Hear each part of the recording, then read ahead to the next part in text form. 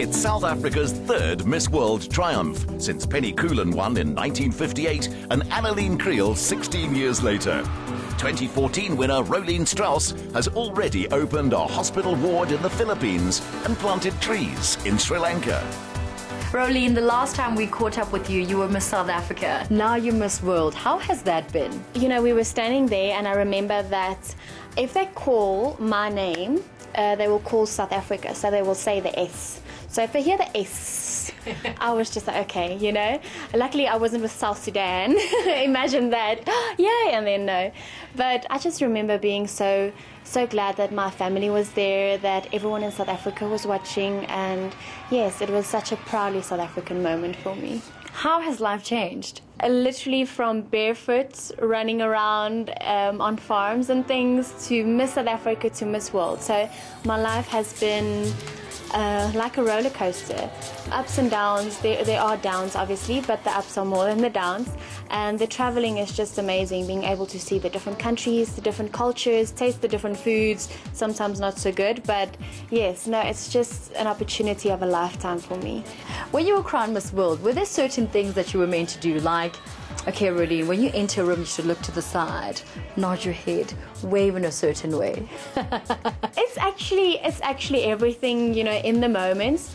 Some different countries you don't really know what to do, how to eat, so I'll just like sit and then watch the others and then kind of do what they do. Some people eat with their hands, some countries you're not allowed to touch children's heads, you know, so there are different things about different countries that I have to get used to, but I usually have a look at everyone else before I start doing something. So you would do the social media side eye and just make sure that you're doing what everybody else is doing. yeah.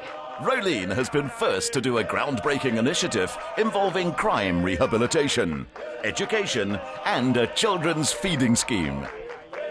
Let's talk about your Beauty with a Purpose campaign. What is it all about? So, Beauty with a Purpose started 42 years ago.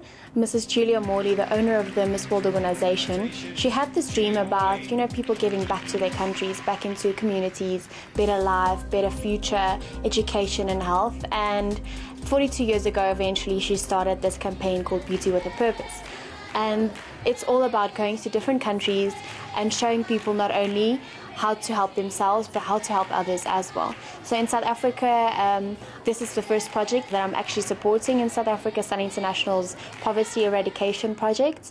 We went to the Leeuwkop prison and we planted a vegetable garden, and the prisoners have a chance to give back to the community as well. So it's like a second chance that they get.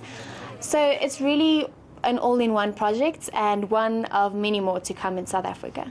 What do you hope to achieve? It, it has different sides to it. So it obviously has the nutritional side, vegetables, healthy, growing. Uh, they give the vegetables to different schools. So that is the one side. The other side is being nutritional, being healthy. You can study harder, you can have better health, you can have a better future. So it's from nutritional to education to health, and obviously giving a second chance for the inmates at the Leeuwkop prison. Her social involvement dates back to being the daughter of a doctor, who, joining him on his rounds from an early age, got the nickname Little Dr. Strauss. In a year or two, she'll have earned the title for real. The last time we met with you, you had two dreams one to be Miss South Africa and the other to be Miss World.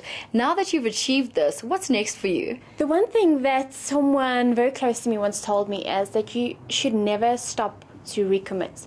You know, I have become Miss World, but it's not the end of the journey for me. I have a lot of things that I still want to do. So the first thing that I'm doing as soon as I hand over my crown is definitely go study again. It'll be quite an adjustment being a student. But that's the first thing. Um, finishing my studies, I want to really create a movement, something bigger regarding women's health in South Africa. So it's still, you know, all happening in my mind. And then obviously after my studies, I'll start working at it. I love taking selfies. Yes. So we're gonna take a selfie, proper mm-hmm. like girly, like pretty one. Smile.